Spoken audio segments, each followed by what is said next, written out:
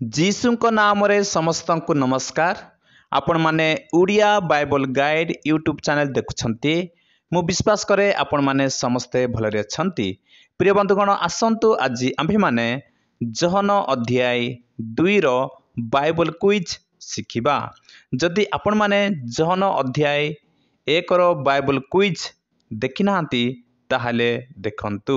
ଆସନ୍ତୁ ଆଜିର Bible quiz ଆମ୍ଭେମାନେ ଆରମ୍ଭ କରିବା। କେଉଁ ଦିବସରେ ଗାଲିଲର କେଉଁ ନଗରରେ ବିବାହ ଭୋଜ ହେଲା?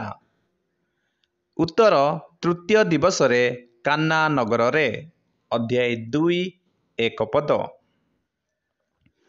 ପ୍ରଶ୍ନ ନମ୍ବର ଦୁଇ ଯୀଶୁ କେଉଁମାନଙ୍କ ସହିତ ସେହି ବିବାହକୁ ନିମନ୍ତ୍ରିତ ହୋଇଥିଲେ?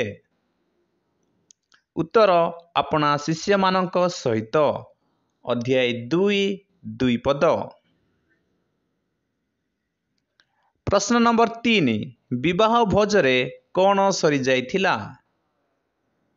ଉତ୍ତର ଦ୍ରାକ୍ଷାରସ ଅଧ୍ୟାୟ ଦୁଇ ତିନି ପଦ। କିଏ ପରିଚାରକମାନଙ୍କୁ କହିଲେ ସେ ତୁମମାନଙ୍କୁ ଯାହା କିଛି କହନ୍ତି ତାହା କର। ଉତ୍ତର ମରିୟମ ଯୀଶୁଙ୍କର ମାତା।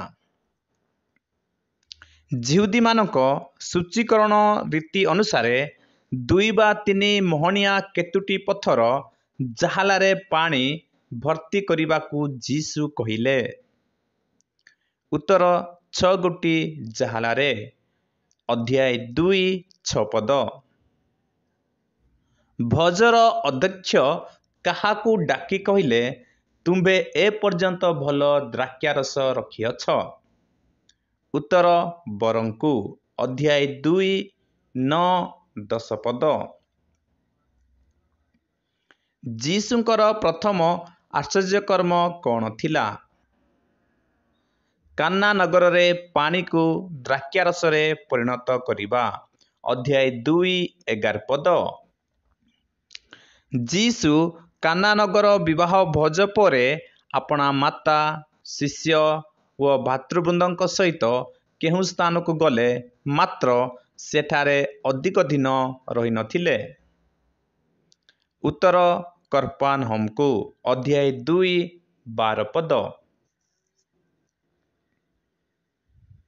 ଜିହୁଦୀମାନଙ୍କର କେଉଁ ପର୍ବ ସମୟର ସନ୍ନିକଟରେ ଯୀଶୁ ଜିରୁସାଲମକୁ ଗଲେ? ଉତ୍ତର ନିସ୍ତାର ପର୍ବ ଅଧ୍ୟାୟ ଦୁଇ ତେର ପଦ। ମନ୍ଦିରରୁ ବିଭିନ୍ନ ବ୍ୟବସାୟୀମାନଙ୍କୁ ଯୀଶୁ କିପରି ବାହାର କରିଥିଲେ? ଉତ୍ତର ଦଉଡ଼ିରେ ଗୋଟିଏ କରଡ଼ା ବନାଇ ଯୀଶୁ ମୁଦ୍ରା ବ୍ୟବସାୟୀମାନଙ୍କର ମୁଦ୍ରା ସବୁ ବିଞ୍ଚିଦେଲେ ମାତ୍ର କେଉଁ ବ୍ୟବସାୟୀମାନଙ୍କୁ କହିଲେ ଏଗୁଡ଼ାକ ଏଠାରୁ ଘେନିଯାଅ ଉତ୍ତର କାପ୍ତା ବ୍ୟବସାୟୀମାନଙ୍କୁ ଅଧ୍ୟାୟ ଦୁଇ ଷୋହଳ ପଦ। ଜିରୁସାଲମ ମନ୍ଦିର ନିର୍ମାଣ କରିବା ନିମନ୍ତେ କେତେ ବର୍ଷ ଲାଗିଥିଲା ବୋଲି ଜିହୁଦୀମାନେ କହିଥିଲେ। ଉତ୍ତର ଛୟାଳିଶ ବର୍ଷ ଅଧ୍ୟାୟ ଦୁଇ କୋଡ଼ିଏ ପଦ। କ'ଣ ଦେଖି ଅନେକ ଲୋକ ଯୀଶୁଙ୍କ ନାମରେ ବିଶ୍ୱାସ କଲେ? ଆଶ୍ଚର୍ଯ୍ୟକର୍ମ ଦେଖି ଅଧ୍ୟାୟ ଦୁଇ ତେଇଶ ପଦ। ଯୀଶୁ ମନୁଷ୍ୟର କ'ଣ ମଧ୍ୟରେ କ'ଣ ଅଛି ତାହା ସେ ଆପେ ଜାଣୁଥିଲେ? ଅନ୍ତରରେ ଅଧ୍ୟାୟ ଦୁଇ ପଚିଶ ପଦ। ପ୍ରିୟ ବନ୍ଧୁଗଣ ଆଜି ଆମ୍ଭେମାନେ ଜହନ ପୁସ୍ତକ ଅଧ୍ୟାୟ ଦୁଇର ବାଇବଲ କୁଇଜ୍ ଶିଖିଅଛୁ। ଆଜିର ଏହି ଓଡ଼ିଆ ବାଇବଲ କୁଇଜ୍ ଦ୍ୱାରା ଈଶ୍ୱର ଆମ ସମସ୍ତଙ୍କୁ ଆଶୀର୍ବାଦ କରନ୍ତୁ।